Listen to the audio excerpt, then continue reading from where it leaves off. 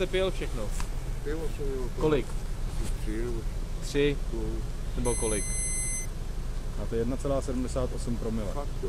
To nebude asi ze třech Dobrá, takže poslouchejte. Uh, máte 1,78 promile, proto s váma za pět minut provedu druhou dechovou zkoušku. Mhm. Jo? Ta druhá zko- dechová zkouška proběhne úplně stejně. Teď si vemte náustek, ten No. si vylomte, vylomit k sobě. Jako, jo. Dobře. A kolegovi začněte diktovat vaše nacionále, jméno, příjmení, datum narození. K tomu vozidlu se přišel jak? No, no, už ho máme tři roky. Tři roky ho máte, jo? Mhm. Na koho je napsaný to vozidlo? Na moji družku. Řidičský průkaz vlastníte? Ne. Nevlastníte vůbec nebo máte zákaz? Nemám. Nikdy jste neměl. Mhm. To vozidlo jste teda, to jste si vzal u paní nebo u družky, nebo jak to mám No chápat? prostě mám doma klíče. No, tak Máte doma klíče, jo? Paní o to nevěděla. No. Nevěděla o tom, že jste se Mhm. půjčil, jo?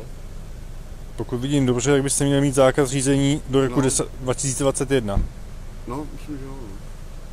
To bylo soudem nebo magistrátem? Soudem. Soudem máte Mhm. zákaz, jo? Za co? Za to, že jste, neří, že jste řídil Mhm. bez řidičského oprávnění, jo? Tam jo? 1,85. Tak to To, to stoupá, jo? Pořád.